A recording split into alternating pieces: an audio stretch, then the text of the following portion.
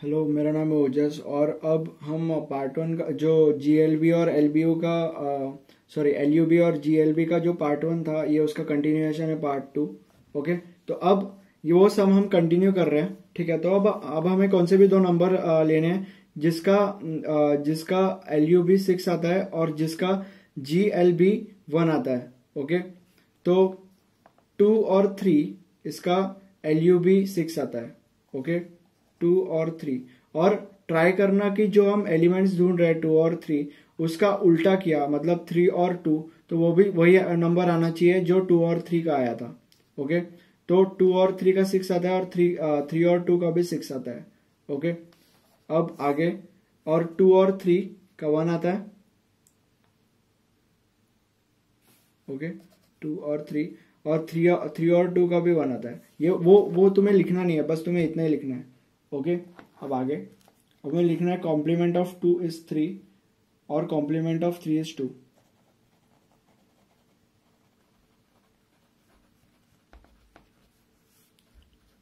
और vice versa लिख देते हैं। या उसका उल्टा भी ठीक है। वाइस वर्सा मतलब complement of three is two complement of two is three और complement of three is two okay अब हम आगे बढ़ते हैं। Uh, तो therefore A is a complemented lattice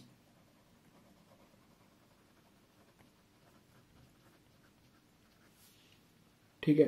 अब उसके आगे बढ़ते हैं हम लोग। अब कॉम्प्लीमेंटेड लैटिस है। अब इसको हमें डिस्ट्रीब्यूटिव लॉ प्रूफ करना है। ओके तो यही दो नंबर के मदद से। तो अब अब डिस्ट्रीब्यूटिव लॉ क्या कहता है? कि आ, हम डिस्ट्रीब्यूटिव लॉ कहता है कि ए मतलब ये वो लॉ है ठीक है?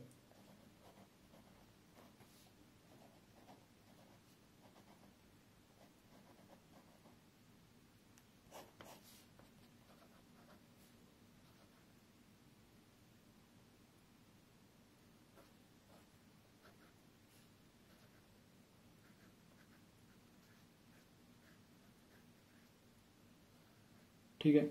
अब इसे हमें इन दो नंबर से प्रूफ करना है। तो हम ए इक्वल्स टू टू लेते हैं और बी इक्वल्स टू थ्री लेते हैं। तो अब ए के जगह पे हम टू डालते हैं और बी की जगह पे थ्री डालते हैं। तो टू टू और three equals to two two two three अब अब हमारे टेबल की मदद से हम इसे सॉल्व करेंगे तो two G L B three क्या होगा? Two G L B three one होगा। और two L U B two two L U B two two होता है। और two G L B two sorry two L U B two L U B three two L U B three six होता है। ठीक है। अब two LUB1 to LUB1 2 equals to 2 GLB6 2 GLB6 2 okay तो ये प्रूव हो चुका है। सॉरी मैं एक बार फिर से बता दूँ ये हाँ। तो ये डिस्ट्रीब्यूटिव फॉर्मूला ये डिस्ट्रीब्यूटिव फॉर्मूला है। हमने अज्यूम किया कि ए इक्वल्स टू टू है बी इक्वल्स टू थ्री है। ठीक है? और फिर उसके बाद हमने वैल्यूज़ डाल दिए ओके फिर ये आ, हमने ये हमें पता है कि ये हमारा जीएलबी का साइन है और ये एलयूबी का साइन है ओके तो हम ब्रैकेट में का सबसे पहले सॉल्व करते हैं टेबल की मदद से।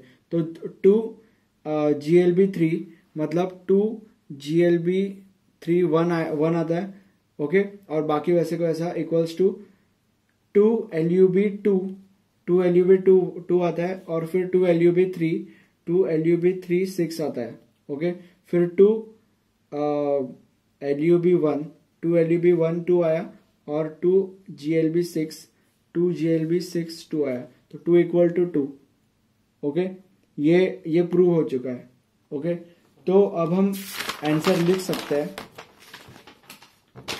कि A is a distributive lattice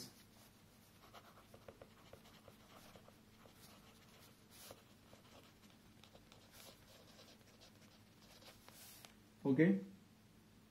क्योंकि आ, क्योंकि आ, सारे सारे जो चीज़ें थे ए ने सेटिस्फाई कर दिया है। और हम आंसर जो क्वेश्चन था वो लिख सकते हैं। A A under divisibility